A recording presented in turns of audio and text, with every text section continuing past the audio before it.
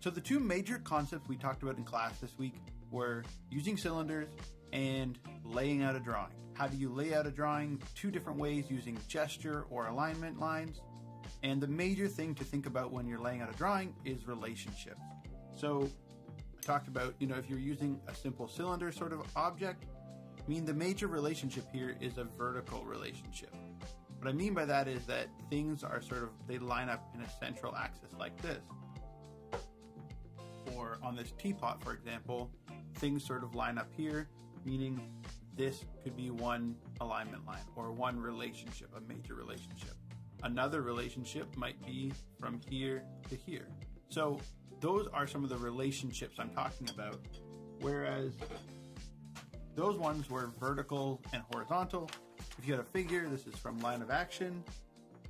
This figure, it's not going to be so vertical.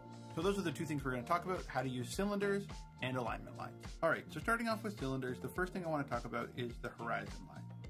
So keep in mind that the horizon line is the viewer the viewer's eye level, or if you're drawing the picture, it's your eye level. So if this is our eye level here, this is the horizon line. And what that means is why that's important for cylinders is that if you have a cylinder that is below the horizon, you're going to see into the top of it.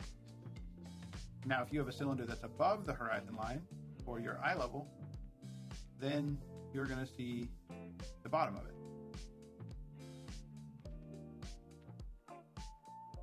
And it doesn't just stop there.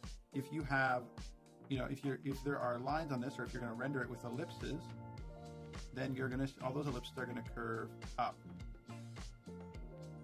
Whereas these ellipses down here,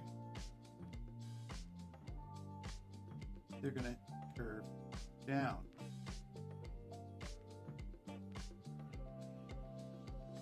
So this is really important. This is sort of the fundamentals for drawing a cylinder.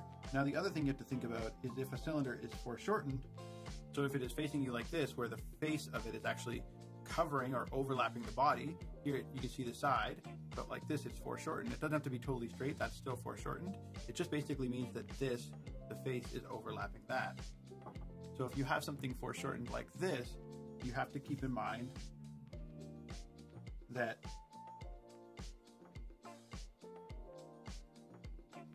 it's going to get smaller as it recedes towards a point on the horizon. So it's going to appear to be going to that vanishing point. And the lines, you're going to see the top. And if it was above the horizon over here, like this, you're going to see the side and the bottom. Okay, so that's just a really quick overview, things to keep in mind when you're drawing cylinder. Now let's move on to drawing a simple object like this. So the main thing here in terms of an alignment line is a vertical line, this object is fairly symmetrical. And then I'm going to look at the overall width compared to the height, and just try to get my general proportions of my object. And I'm just going to draw this as one big cylinder. All right, and then I'm going to look for some key spots, like key proportional lines here, maybe in this area, it gets shorter. Okay, and then it widens out. I'm actually just going all the way out as if it was to here, just because then I know what the negative space is. The negative space is that space, this is the positive space, and that's the negative space. If you think about, I just kind of color in back here, all of that space behind the object would be negative space. So I'm just using that here, looking at using my center line, and my center line is not right in the center, so I'm just gonna adjust that. That's gonna help me base how wide make everything. And so I'm sort of starting with like a flat shape.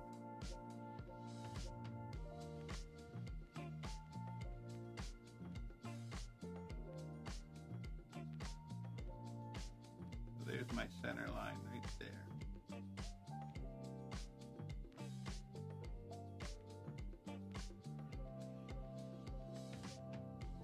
Okay, this is a pretty simple object, but I'm going to make a point of why this is still a good thing to do, even for simple objects, okay? So there's my basic framework or layout, whatever you want to call it. In this pose, or in this, in this position, I'm not really seeing a whole lot of curvature from my ellipses. Paying attention to little details like this is sort of coming in here, a little bit of a bevel, coming down, starts to taper. I'm not really thinking too much about light and shadow here, but I am thinking a little bit about modeling, like making this look round. These core shadows running down the form, they can help sort of reveal some of the form. So I'm going to put those on there.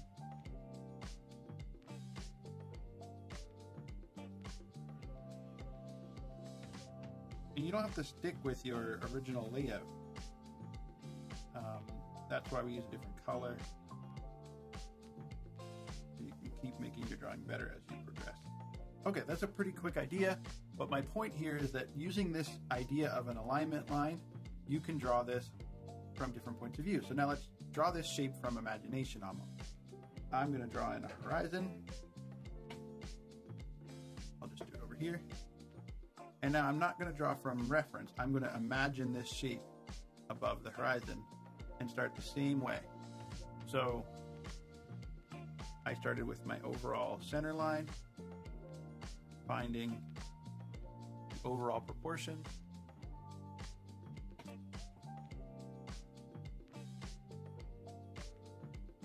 And then sketching in sort of the two-dimensional shape.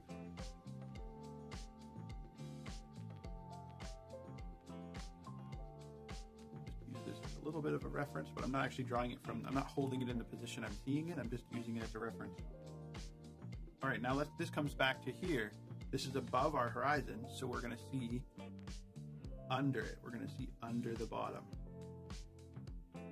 And this is what I mean about translating what you're seeing into the language of drawing. You're not copying, you're not holding up that object and copying it as you see it.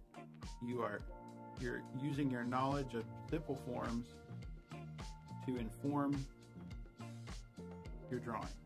So, yes, we're drawing from an object, but I'm not drawing it in the position it's in, and I'm using my knowledge of cylinders and the horizon line to draw it from another position. And just keep in mind, every line you shade or model this form with should conform to the idea we have that it is above the horizon. So these lines here, if you're going to shade it at all, they're all going to curve up.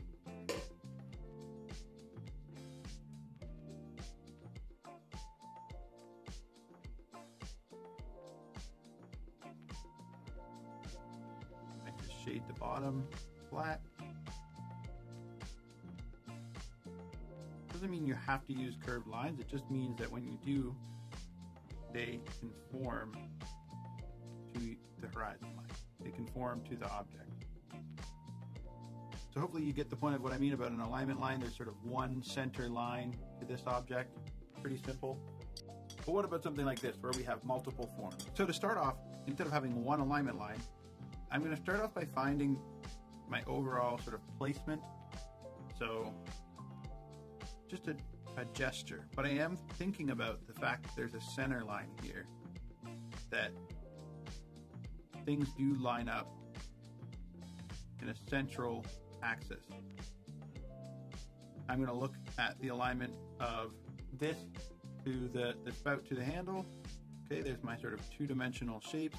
Just looking at the spout as a, as a very basic shape for now. Okay, and now I'm going to break down those forms. So we have we have our first major shape, which is this sort of ovoid, our main sort of round shape here. And again, I want to draw this in a way that I could draw it from memory, meaning I can understand it. If you don't know how to build this from memory, then you're not really sort of speaking that language of drawing. You're just copying something. And you can't You don't have the power to make changes. You don't have really the power to really speak with authority in terms of drawing. So when you're doing this, you want to study those forms in a way that you could draw them from memory. And I don't mean necessarily draw it without reference. I'll just, just like we did here, where we drew it from a different point of view than I was actually looking at it from. This is not quite a sphere, a little bit of a flattened top. Okay, coming down, there's a little bit of a bevel there. I'm to draw right through the handle and just double check my proportions. Okay, thinking about this thing as a big ellipse. Okay, and then we have handle. And again, I'm trying to think about planes, like being underneath the handle as it wraps around, studying it for its basic shapes. Okay, so there's my basic drawing of it. Now again, what about drawing it from imagination? So let's just do the same idea. What if it was above us? I'll draw it from a different from the other side, but let's say it's above us over here. So I'm starting with that that main axis and then the simple shape. So I'm looking at this alignment line, this alignment line, and I'm going to start catching it in, keeping in mind that what my perspective is. So meaning what is where is the horizon line? Another way to say that is am I below, above, or below? I'm looking at this from below. So I'm going to see into this, to the bottom of the teapot now, which is going to change how this shape looks. I'm going to be sort of looking under it. See how this is curving down? Here, it's going to be curving up because it's above the horizon line in this, in this demo. And again, I'm not really copying my layout, so it's just a really quick one. The idea is, again, not to do you know this perfectly right off the bat, but being able to think about an object from different points of view. Hopefully that makes sense, but that doesn't necessarily help us with something like this. So without getting too much into figure drawing, I do want to talk about how I would break down a person using relationships, alignment lines, and cylinder. Okay, so I want to apply this same idea to a figure. So I'm going to start off the same basic way, which is finding the overall sort of alignment of her. She's sort of leaning forward a little bit. And then I'm going to look for a gesture. So what's she doing? Her arms are leaning back, holding her leg. Her legs kind of coming up to the hips. Her knee is coming forward, Her head is slightly forward. And I'm just going to use simple spheres and cylinders. So I'm going to draw her eyebrows to her ears, that alignment line. That's sort of a, a specific one for figure drawing. We'll talk about that more when we get into figure drawing. But the, the main point here I want to make is not that you can necessarily jump in and start doing this right away, because it will help if we kind of, once we've talked a little bit more about some of the basics of figure drawing, but it's just how does this apply to an organic shape, to an organic, you know, a human being. You can still use the idea of alignment lines, gesture, and cylinders.